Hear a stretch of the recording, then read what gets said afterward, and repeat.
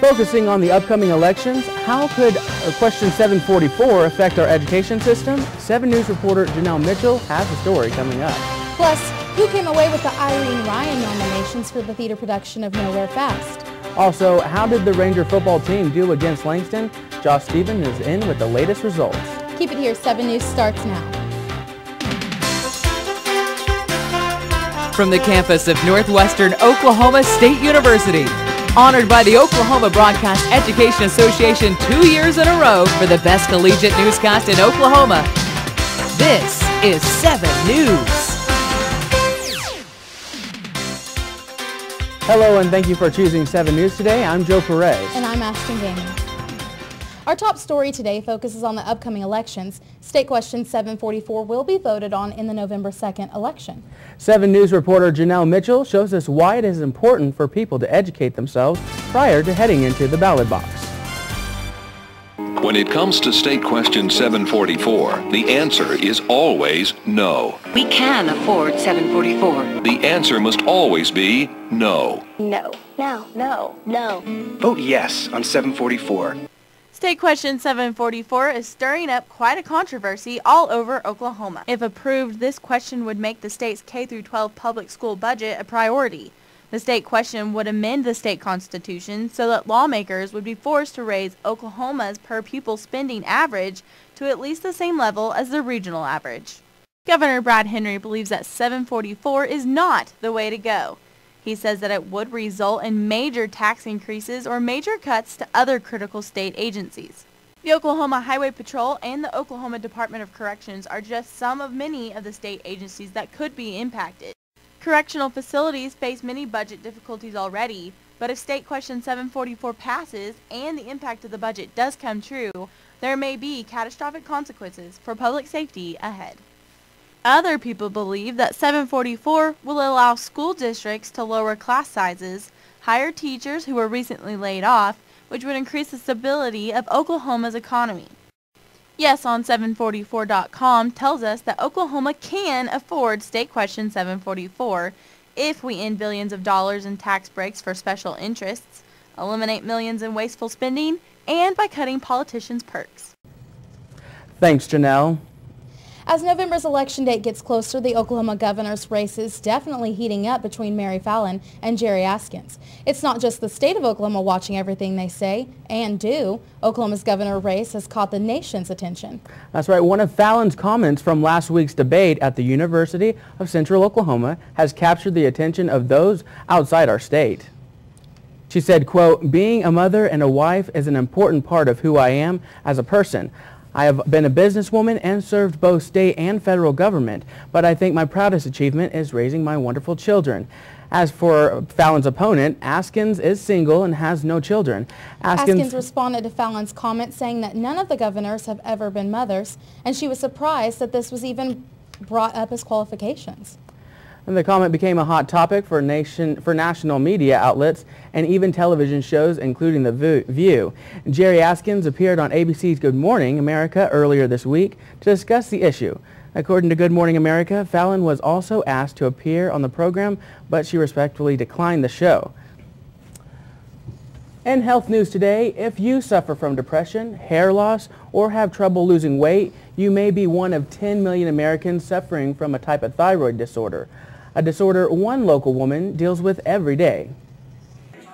It's a disorder that affects more people than diabetes and obesity combined. A misdiagnosis that nearly 10% of Americans may have, but not even know it. It's called hypothyroidism, a common disorder in the thyroid. Thyroid is a little organ that's right here, just below your Adam's apple. It's kind of butterfly shaped and basically it secretes hormones that when the brain tells it to that will um, stimulate your body and, and increase the metabolism. Things like your heart rate, sweating. When you need energy, that's what happens. Melissa Graybill, a 31-year-old Alville resident and pharmacy technician at Holder Drugs, went to see her physician with specific symptoms related to a heart condition and left the office with a mystery diagnosis solved. I kind of thought, well, you know, I'm getting older, but then I should still have some sort of energy. and I could sleep. I could come home after, you know, during lunch and take on my lunch break and take a nap and then barely make it through the afternoon, come home and sleep again and then sleep all night. I was probably more irritable. My coworkers will probably tell you it did it did affect it more than I can tell you. That's when Melissa decided to go and get checked by her local physician. And he checked my throat and felt this huge um, lump. And so that's when he said, let's get you to the hospital. And I did an ultrasound. And the ultrasound showed there was a nodule, probably like this big, on my right side of my thyroid. She underwent surgery to remove the malignant thyroid. Now, Melissa must take a pill each day to regulate her metabolism. For hypothyroidism, it's usually they give them Synthroid. Synthroid's synthetic. We make it, um, and it's really identical to um, what your body produces. But today, Melissa says she is more active and has more energy than ever before. I don't come home and take a nap every day, every day anymore, and like right now I'm redoing my house, and so I spend every hour doing that. After being diagnosed and having the condition under control, Melissa now advocates to others about the importance of having your thyroid checked. I've actually had a couple people that have had surgery and have come to me and I've been able to tell them my experience, which makes me feel better. If I can ease someone's fears, I guess, of going through the same thing I went through, I, that's what, I mean, I do. I mean, that makes me feel good, I guess. Now there are a few symptoms doctors say to look for if you suspect yourself of having a low thyroid. Look for changes in your mood, behavior such as depression, lack of interest, lethargic or the feeling of being tired all the time, inability to lose weight, or a constant increase in your normal weight range, all which can be checked by doing a simple blood test at your doctor's office. Northwestern hosted the best robotics competition for high school students this past weekend. We'll take you to see the latest inventions on display. Plus, goblins and ghouls will be taking over Northwestern this week during Halloween. Find out where the best place is to trick-or-treat and possibly spook yourself. Keep it here. We'll be right back. You're watching 7 News with Ashton Gamey, Joe Perez, Campus Watch with Sing Sing Lou, and Sports with Josh Stevens. This is 7 News.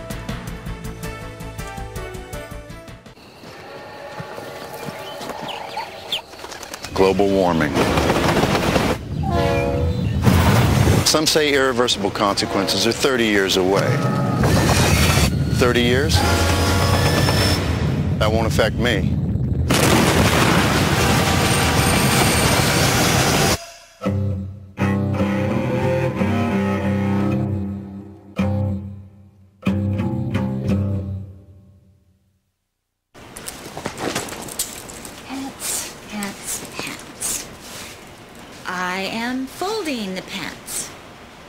Are long.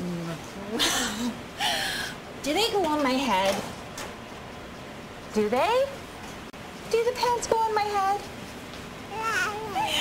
No. They go on Everyday moments can become teaching moments because learning starts long before school does. Give your child the start they need at bornlearning.org.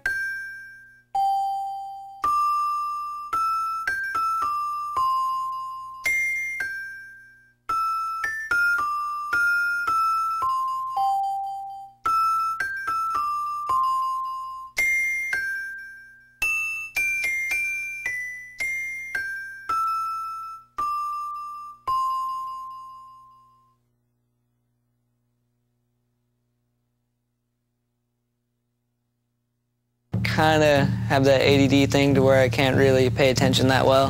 I might as well just drop out. So I bounced from like foster home to foster home. Dropped out of high school my junior year. I was hanging out with some people. Now I realize I shouldn't have. They join gangs, start doing drugs, try to sell drugs. It distracts you from everything around you. You're always having to watch your back. You can't really be yourself. The one person who really got me to go back into school was my mom, my mother. My parents were the people that helped me the most. I need them to know that it really does help me, that they're there for me.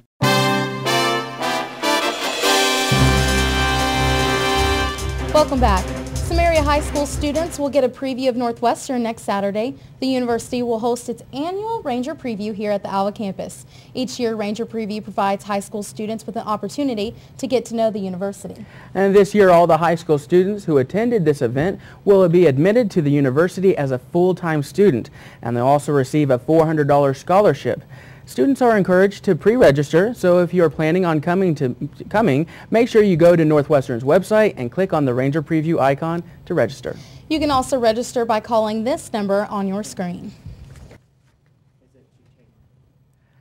Three Northwestern students, uh, theater students, have received nominations for KCACTF for the performance in the play Nowhere Fast, performing in, for performed in the first weeks of this month. They each received an Irene Ryan nomination, and the students are sophomores Sarah Acosta, senior Charlie Burns, and senior Casey Russell. Sarah Costa played Virginia Louise and Casey Russell, who played Mama, are taking in the new experience as their first nomination for an Irene Ryan. This is Charlie Burns' second nomination. The students shared, excuse me, the students shared with us how they feel about their nominations. that was really a big deal to me, I guess, because I didn't think that I had any chance for it since I was new. And I was just really surprised. I think that I have some connection with her because even though I'm the eldest, I'm still like always the little sister of the groups that I'm in. And yeah, I think that helped me connect to her a lot. And if I didn't have that, I'm sure it would have been a lot different. I, probably wouldn't have gotten an Irene. It makes me so happy. I've, I've always strived for this award and I achieved it two years ago. I fell short of it last year, but I really wanted it this year and so I went for it and I got it. Really did connect with my character a lot because I I like to be the, the happy person in my family. I like to be the one that brings joy to everyone, you know, no matter the circumstances. And I think that was a lot of what my character was. And so I took that personal experience and built from it. It was very exciting for me because I've never won one before and I've always wanted to win one. And um, it was just so special and I was so excited to grow as an actor and be able to accomplish that. I loved my character. I think we became a combination person. Um, she was just such such a good person and I wanted to be able to be her and grow up and hold my family together. Thank you, 7 News reporter Becky Burke. Now the students will compete in February when the Northwestern Theater Department travels to KCACTF festivals. It was an important preliminary weekend for some area high school students. Students gathered to participate in Mall Day here at Northwestern last Saturday for the best competition. With their different invention and plans on displays, the students at Best Robotics took the gym floor of the Percefull Fieldhouse to show off their robots they've been working on for nearly four weeks. Today is a practice day for their robots so they can use the field over here and um, try out their robots, see what works, what doesn't work, and then they have two weeks from today they'll be back for the competition. So this is kind of a trial and error day. Additionally, we have a bunch of table displays set up over here. That's part of the BEST award. There's several components that go into that, and so those will be judged here shortly as well. We met one senior contestant who talked about the preparations and the idea behind the project appropriately called Total Recall. Our booth is, we wanted to make it kind of an industrial look to it. So we did it with like the flooring as of the walls and floor. And then our centerpiece usually rotates, but it's not working at the moment. And so we also have like a timeline over there of all our past teams and stuff. And then we just have like descriptions and pictures from building the robot and stuff. Mahari says it's a good program for students in this area. Although Mall Day was just a, excuse me, a practice day, the students still have two weeks until the final judging, set to take place October 29th and 30th. The Academic Success Center at Northwestern has seen some changes. and they have uh, read and they're ready to show them off for the students who haven't taken advantage of the services yet.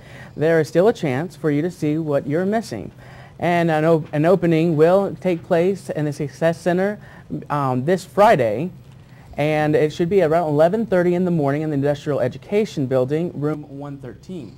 Students will be able to participate in the educational uh, programs, games, meet the tutors, and learn about the types of assistance available at the center. Well, Halloween is just around the corner, and this year, you don't have to go to a big city to get scared. Northwestern student organizations will host a haunted house event Saturday, excuse me, starting this Saturday through Sunday from 7 to 11 each night. The haunted house will be held in the basement of Vinson Hall here on campus.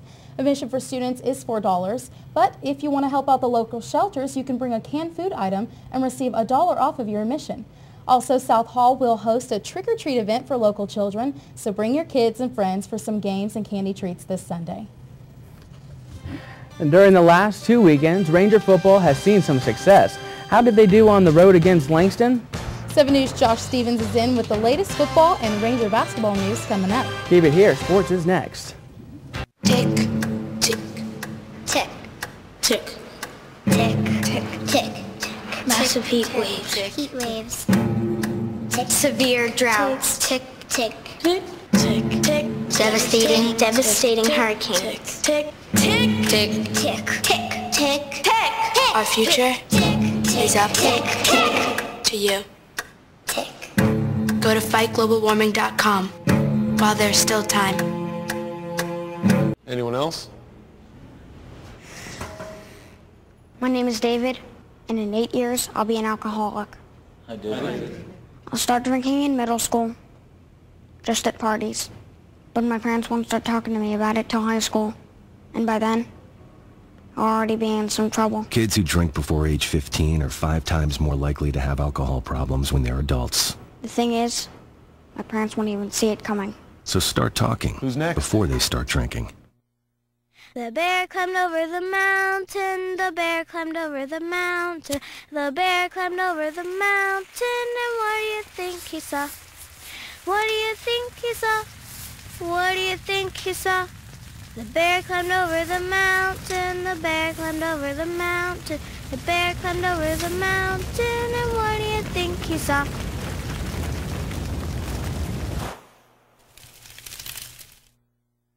I was hanging out with some people. Now I realize I shouldn't have. The work was so hard. It was just going fast, fast, fast. I got kicked out of school and nobody cared about me, so I don't care. I sort of got messed up into gangs and other stuff. School was very difficult. I was expelled from school. I mean, the one person who really got me to go back into school was my friend Kevin. At my friend's graduation, I'm going to be the loudest one there. Because if you don't have anybody while you're in school, then there's not really a way to get through it.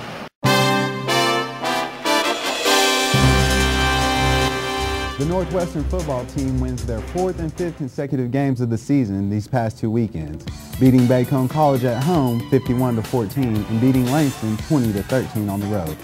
The Rangers took the field against Bacone for their second home game of the season and came away with a big win, which gave them the 23 ranking in the NAIA Coaches Poll. Northwestern led the entire game as they moved to 3-0 in conference play. The football team has also traveled to Langston to play the 21st ranked Lions. Nate Guillory scored the first touchdown of the game in the second quarter to put Northwestern on top 7-0. However, Langston made a 22-yard field goal right before the half as they trailed 7-3. In the second half, Guillory scored his second touchdown of the game. Langston bounced back with a score of their own to pull within three points. However, shortly after, Northwestern's Jared Jackson found the end zone to seal the deal. In other sports, 7 News sports reporter Johnny Gonzalez will inform us on how the Lady Rangers have been preparing for this season. Johnny? Thanks, Josh. Now, while most team seasons are starting to wind down, and particularly cross country, soccer, and who could forget football, there comes a transition. This being partly from a change in the weather, but I talked with 27th year head Lady Ranger basketball coach Melvin Barton, who foresees a few more W's on this season schedule, which features talent from not only in-state Sooner Athletic Conference rivals, but also from neighboring states. The month of November is the prime opportunity to get to see Barton's team in action as they start the season with a five-game homestay, which begins with hosting the rival Bulldogs of SWOSU on November on November 2nd, which will be at 6 o'clock. Here are a few more games coming up, and I have to remind you that from the 2nd to the 20th of November, that all these games are home games. And they'll be right here on the Northwestern campus in Percefull Fieldhouse. So with all that, I'll turn it back over to Josh at the Sports Desk. Thanks, Johnny. That'll do it here for sports. Keep it here. We'll be right back. In the classroom, I turn my head this way, and as a game banger looking at me, you know, Mad Dog me throwing signs up under the table. I feel real scared for my life. And during that time, I wouldn't go to school. My mom would tell me, like, what are you doing for yourself? You're not doing nothing. She encouraged me to go back to school. My neighborhood is a dangerous place. What's pushed me to graduate is my mother walking down the aisle, hearing her scream for me. I want to graduate from my mom. She watched the disses yell at me, you got to graduate. You got to get out of high school so you can get your diploma. And I'm going to make it, and I'm going to be somebody in life. Glucose plus oxygen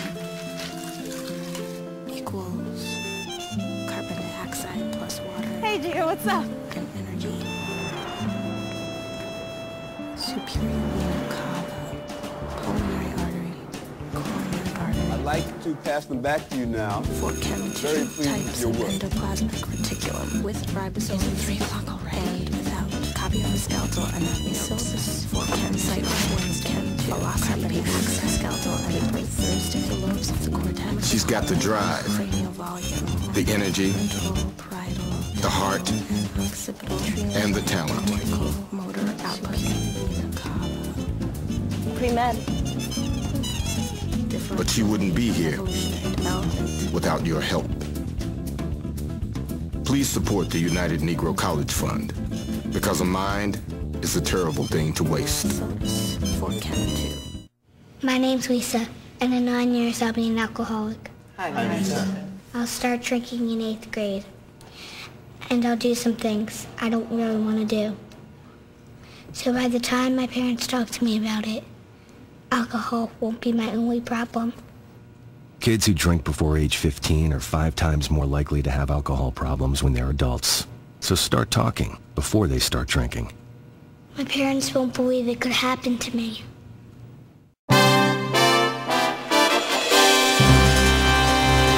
Welcome back. Now let's take a look at what is coming up on campus.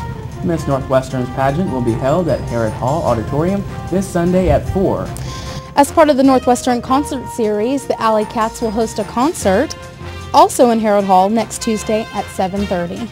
And trick-or-treaters in Alva will hit the streets to go door to door and get candy this Sunday evening.